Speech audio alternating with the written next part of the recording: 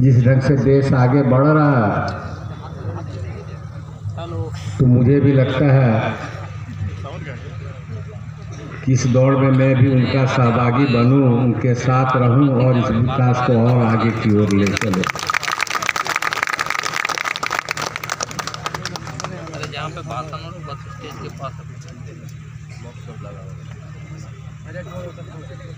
मुझे याद है अच्छा।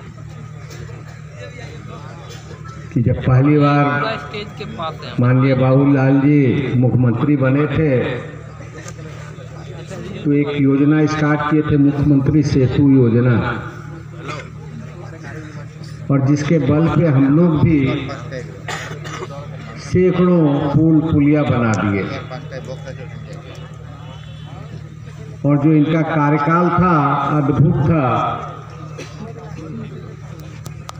और आज ज़रूरत भी है कि ऐसे लोगों को नेतृत्व मिले और ये प्रदेश और आगे बढ़े।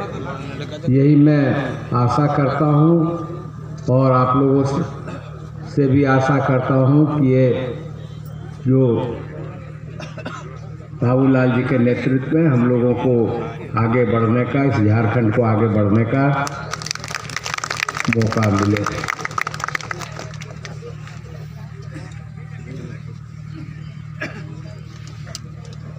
बहुत कुछ है, बरसात की सीज़न भी है।